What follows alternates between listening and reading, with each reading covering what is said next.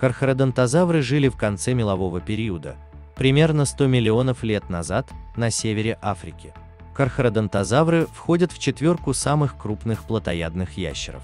Они обитали в доисторических вечнозеленых лесах и охотились на более мелких хищников и растительноядных динозавров. Он получил свое название благодаря огромным зубам, которые при раскопках впечатлили ученых.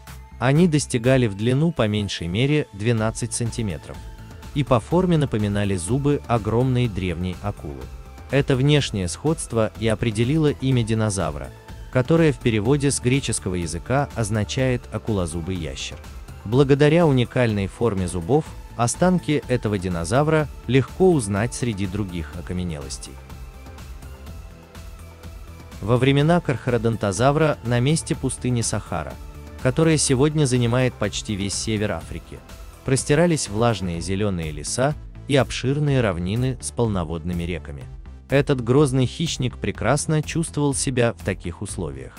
Из-за огромных размеров кархародонтозавра никто не решался напасть на него, зато сам плотоядный динозавр почти никого не боялся.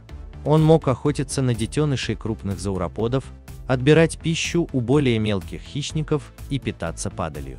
Только взрослые зауроподы могли дать отпор этому кровожадному плотоядному ящеру. В погоне за добычей кархародонтозавром приходилось порой забредать на территории других крупных хищников, например, спинозавров или карнотавров. Тогда между плотоядными динозаврами возникали конфликты. Чем голоднее были хищники и крупнее добыча, тем выше была вероятность спора. Порой такие неприятные встречи заканчивались драками. В черепе одного кархародонтозавра ученые даже нашли необычный прокол, который, судя по всему, оставлен зубом защищавшегося от нападения спинозавра. К большой неудаче палеонтологов, все останки кархародонтозавра, найденные до Второй мировой войны, были полностью уничтожены во время военных действий на территории Германии. Бомбардировщики разгромили немецкий музей, в котором хранились кости хищника. К счастью, спустя время на севере Африки снова удалось найти окаменелости кархародонтозавра, и ученые смогли их исследовать. Спасибо за просмотр. Не устаю повторять, подписывайтесь на канал, ставьте лайк.